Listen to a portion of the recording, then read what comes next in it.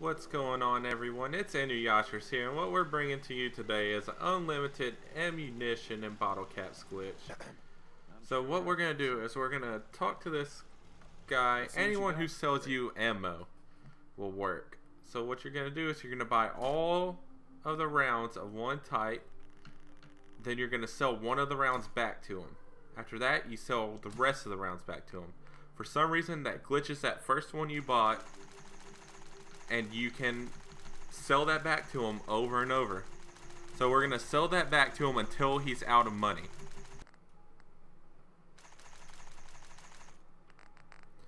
Alright, now that you've gone over his amount of money, this glitches, so now you just select to buy all the ammo, and for some reason it counts it as you selling him all that ammo.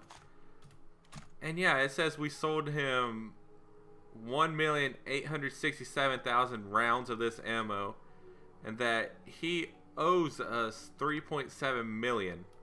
Obviously that's not true, but who cares? Now you can buy the ammo that you want. You can buy pretty much whatever you want. Gonna buy all this.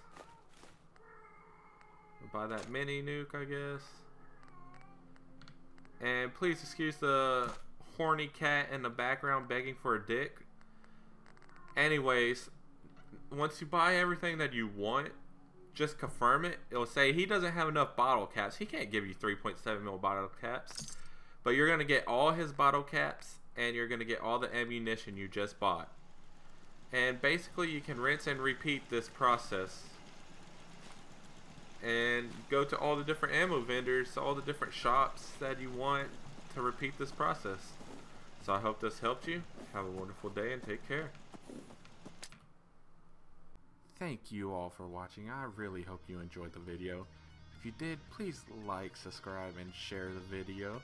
It really does help out a lot. And as always, take care and have a wonderful day.